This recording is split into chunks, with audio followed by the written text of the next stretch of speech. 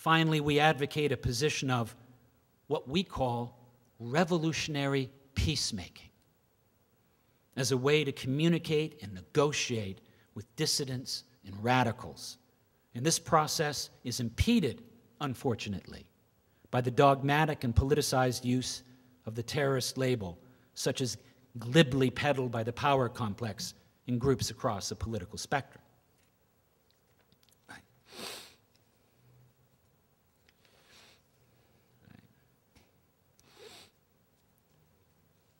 Well, I'm going to skip over some of the history that you can you probably all know, just the history of the beginnings of the war in Iraq and, Afghanistan.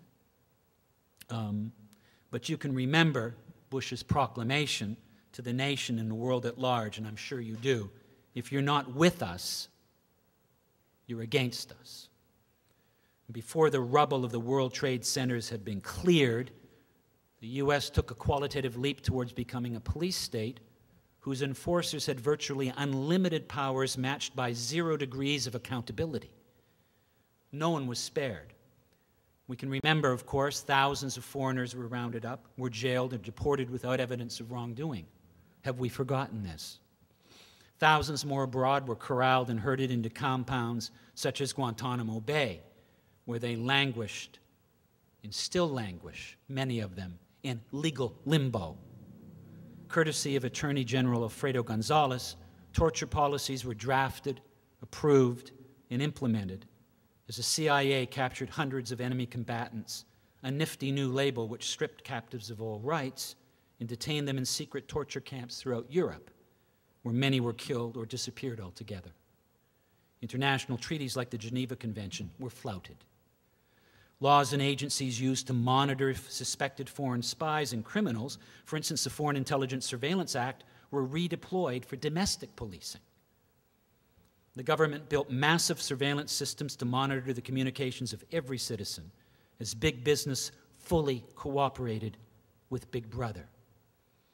Bush rejected even the most minimal review laws as obstacles to catching terrorists and ordered illegal, warrantless wiretaps on thousands of U.S. citizen phone calls and email communications, far more than initially realized or admitted. Demo demonstrators and activists of all kinds became targets of surveillance and persecution, and dissent in many forms was criminalized under the new category, which we call, call domestic terrorism. The Patriot Act endowed the state powers such as clandestine searches of one's home or office and access to all records, including student, medical, and library research. While demanding open access to citizens, the government also cloaked itself in secrecy by withdrawing presidential papers and historical records from the public domain and restricting citizen use of the Freedom of Information Act. Although the turn of the century may often bring optimism, hope for a brighter tomorrow, the 21st century began as a time of war, it's a time of terrorism, violence on a global scale, as social, economic, health, and environmental problems mount to ever high, higher levels of crisis.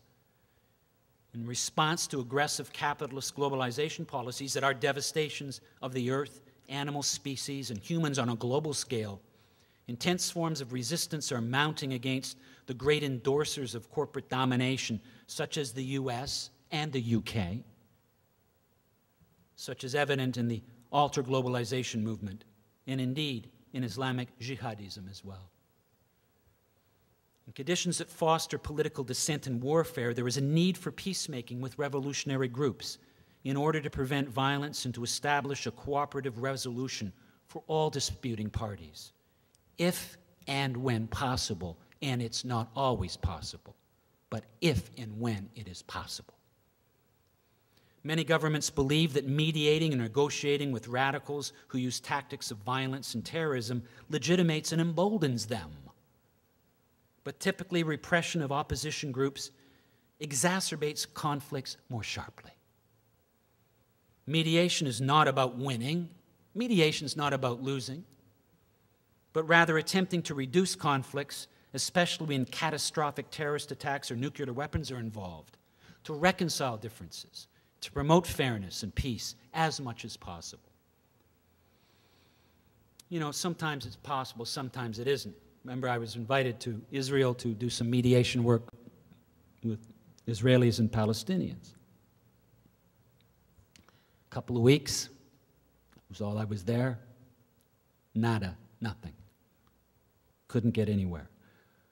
But we haven't given up. And that's the key. Consider the lamentable fact of Cuba. I was in Cuba, Cuba. Um, did a TV, two hour TV special in Havana, of course, without State Department. Uh, I mean, I'm, I'm Canadian, but I'm also I'm a dual citizen. I'm Canadian, but I'm also a U.S. citizen. So I'm not allowed to go to Cuba, Cuba, even on my Canadian passport, because I have a U.S. passport. And, but so it was interesting. I've been to Cuba a number of times, and it's, it's interesting that Cuba has not posed a threat to the United States since the Soviet missile crisis showdown in 19, what, 63? It has nonetheless, for the past four decades, been officially identified as a rogue nation. In this era of global capitalism and vast porous markets, trade and travel embargoes remain firmly in place. And only due to its ideological rigidity and primal fear of socialism, does the U.S. maintain this irrational and archaic stand? Whereas the conflict could easily be resolved were the U.S. to abandon its own hostile policies and intractable outlooks. Could easily be resolved, relatively easily. Such decades of fear and rigidity have, in recent years, seen the emergence of Latin American attempts at regional integration as a defense against U.S. imperialism, led by Venezuelan President Hugo Chavez. It's really interesting with the working uh, in Venezuela with the Chavistas, when their educational programs there. I mean, I was on a TV show with, with Chavez um, in the audience with, with Hugo Chavez, Aló Presidente TV show, where Chavez talked about a, a, a kind of, it was, it was, almost religious. I mean, he talked about this, this sense of, of having a commonality among people in the United States. I think it was he was drawing on Jose Marti. But this sense, he was talking about this, it was almost like um, this sense of spiritual commonality that could emerge. And it was interesting because I was sitting next to the great poet of the revolution, Ernesto Cardenal from Nicaragua. You know, he was there reading his poetry at a, at a worldwide poetry conference.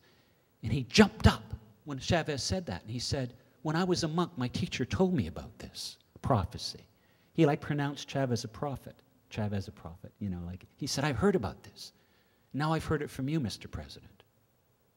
I think it's prophetic, in this sense of bond he, he would feel with the people of the United States. But of course, when I met, got to meet Chavez in Miraflores Palace, he did say, There's a monster living in the White House, Peter, and you must do what you need to do. Mr. Danger and you have to do what needs to be done to oppose this regime. Um, and, uh, but I've been very impressed with what I've seen so far in Venezuela. It's called Socialism for the 21st Century. I'm a socialist. And I believe that one of the ways we can bring about a culture of peace is to bring about socialism, a socialist alternative to capitalism. I don't think it can be done within the value form of labor under capitalism. And I say that as a humanist, I say that as a Marxist. I don't think it can be done. Certainly can't be done either with socialism in one country. But the United States, other trans, well, it's not just the United States, it's a transnational capitalist class that exists in Venezuela. We call them the escualidos.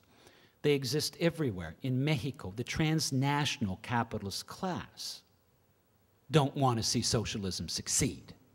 Many of us in the United States, some of us at least would. In Canada, would. But the transnational capitalist class all over the world doesn't want to see the success of socialism anywhere. It's too threatening, it's too dangerous. Can't let it succeed, have to demonize it.